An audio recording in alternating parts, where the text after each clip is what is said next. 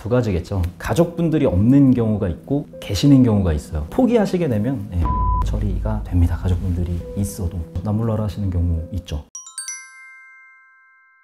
암 종류일 것 같은데요. 연세 많이 드셔서 이제 뭐 노환이라고 하죠. 그런 거랑 장소 같은 경우에는 거의 대다수 이제 병원에서 돌아가시는 경우가 사실은 많죠. 아무래도 연세 드시고 뭐 이러시면은 병원이나 아니면 요양원 요양병원 이런 곳에서 돌아가시는 경우가 거의 7, 80% 그리고 좀 특이하거나 이런 것들은 이제 극단 선택 아파트 단지 내 뭐 화단 앞에서 임종하신다든지 그럴 때는 좀 그죠? 마음의 준비 또 해야겠죠 저희도?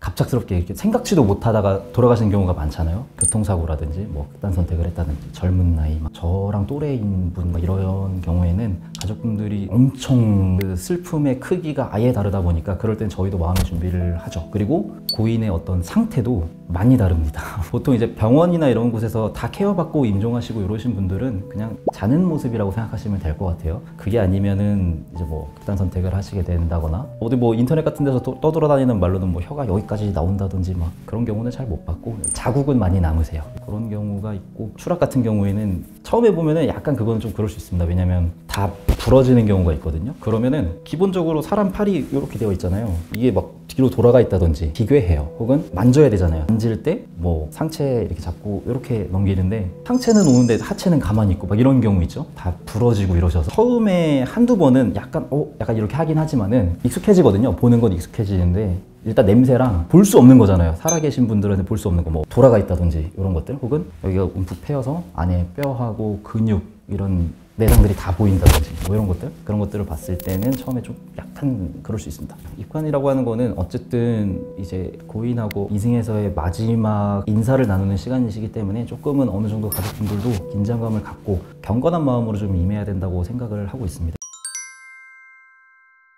좋지가 않죠 위생상 왜냐면 어, 돌아가셨을 때 안내를 처음에 해드려요. 뭐 붓기도 많이 부으시거든요. 혈액 순환이 이제 멈추시다 보니까 누워 계시면은 이제 물은 이렇게 퍼지지 않습니까? 그럼 혈액도 마찬가지예요. 피도 이렇게 퍼지게 될 건데 누워서 하루 이틀 계시면은 이제 쭉 퍼져가지고 얼굴 쪽에도 그렇고 다리 뭐 붓는 경우가 많아요. 아니면 혹은 복수가 차셨던 분들 같은 경우에는 역류에서 나오시는 경우가 있어요. 근데 보통의 경우 몸 안에서 다 썩었습니다. 그래서 악취가 굉장히 많이 나고요. 그런 경우 위생상 좋지가 않기 때문에 뭐 온기 나눠주세요 해가지고 이렇게 뭐 이마 쪽이나 이렇게 살포시 하시는 건 괜찮은데 뭐 너무 마음이 그래서 뭐 뽀뽀를 한다든지 이런 거는 조금 네, 지양을 해주시는 게 좋지 않을까라고 생각을 합니다.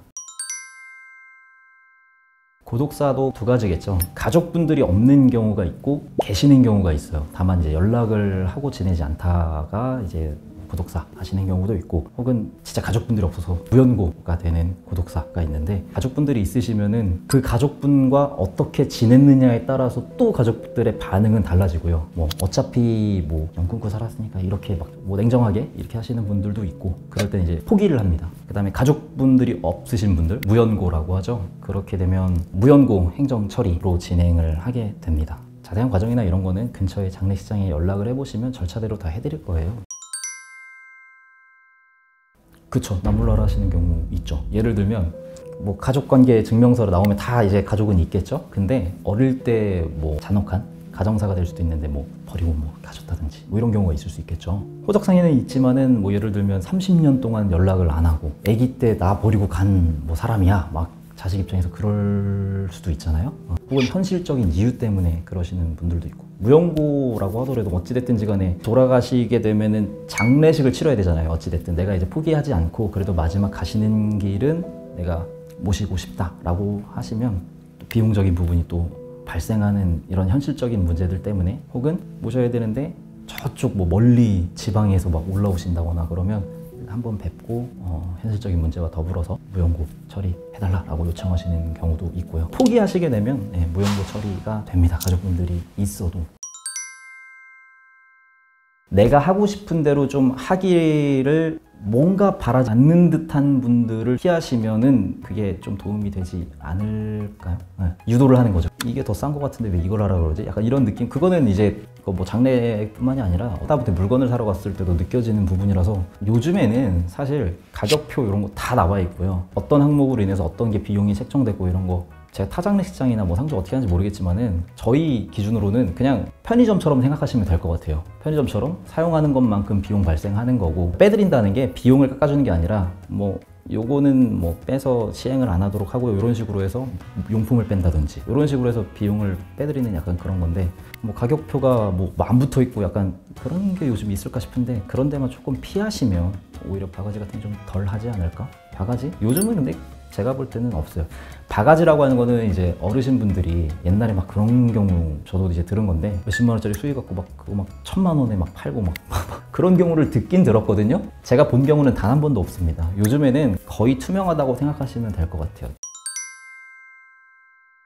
노자에 대한 얘기를 좀 하자면은 아버님, 어머님 혹은 내 자식 마지막 가는 길에 뭐로 맛있는 것도 사 먹고 뭐 그런 의미로 이제 노자를 넣는데 요즘에는 사실 많이들 아세요. 되게 많이 퍼져 있기 때문에 이 노자 넣어봐야 뭐 장례질서가 뭐 빼간다 막 이런 속설이라든지 막 이런 게 있어서 많이들 알고 계시고 이래서 노자를 안 넣는 경우도 많으시고요. 혹은 아예 따로 그냥 그냥 수고비 개념으로 그냥 먼저 아예 주시는 경우도 있으시고 끝나고 나서 고맙다고 해주시는 경우가 있고 노자를 안 하시는 경우도 있는데 요즘 장례식장 가면 아마 다 벽에 뭐 붙어 있고 이럴 겁니다. 그 거절하는 경우가 많아요. 예, 저희 못 받게 되어 있습니다. 그래서 뭐 무슨 뭐 노자를 훔치고 막 요즘에는 안 그래요. 차라리 대놓고 먼저 그냥 뭐 수급인데 이렇게 하거나 아니면 돌려드리면서 그거를 바라거나 이런 식인 거지. 뭐 뉴스 보면 얼마 전에도 막뭐 돌아가신 분 여러 가지 금리 막 벤츠로 막 하고 그런 뉴스 기사도 보긴 봤는데 모든 사람이 그런 건 아니고 일부의 소수 어떤 직업이라도 그건 마찬가지일 거라고 생각해요. 그런 사람은 분명히 있기 마련입니다.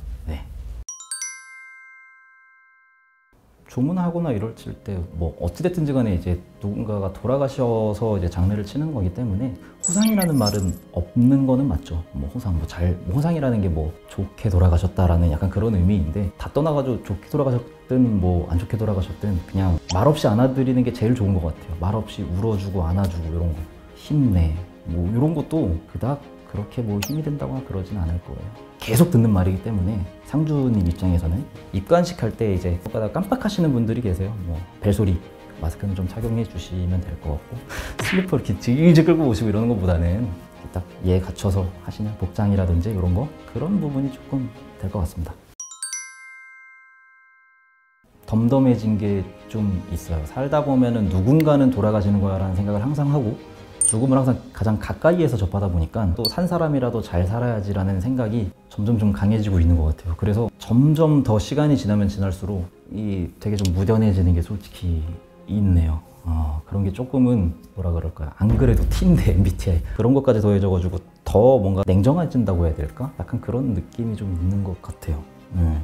가끔 가다가는 저도 막 어릴 때 봤던 그런 것들 생각하거나 혹은 뭐 슬픈 드라마 같은 거 보면서 막 울고 싶고 막 이럴 때가 분명히 그런 거 있으면 도움이 될 거라고 생각하는데 잘 없어요 그런 게 이제 약간 그런 거 그렇게 무뎌지는 것 같아요 감정에 어, 약간 그런 게 좀 있습니다.